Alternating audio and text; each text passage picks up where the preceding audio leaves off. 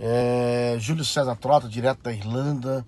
Estamos fazendo este, este, este vídeo para trazer algumas informações sobre a situação da Irlanda aqui na Europa, sobre o coronavírus. Bom, a população da Irlanda é, hoje ela está em 4 milhões 758 mil e 141 pessoas. O número de pessoas infectadas é, são de 13.271. 13.271 pessoas infectadas.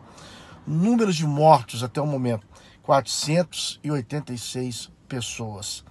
A Irlanda, no dia 12 de março, foi fechada as escolas e depois de uma ou duas semanas foi fechado, dado ordem para fechar é, shoppings, redes de lojas grandes, de grifes, enfim, só mesmo aberta supermercado, lojas de conveniências, né?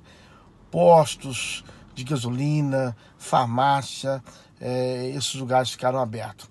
E supermercado também. Embora nesses lugares há uma certa cautela hum, para entrar neles, há um, uma distância razoável de um metro e meio, dois metros por pessoa. E quando uma farmácia é menor, é pequena, o lugar é pequeno, espera uma ou duas pessoas sair para depois entrar. Então há um respeito muito grande, há um cuidado, um zelo para não proliferar mais esse vírus. Vamos mostrar aqui um pouco das imagens daqui de um pouco para você ver. Agora está tarde aqui, não tem muitas pessoas na rua, mas há um movimento, não vou dizer normal, caiu uns 70% do movimento nas ruas.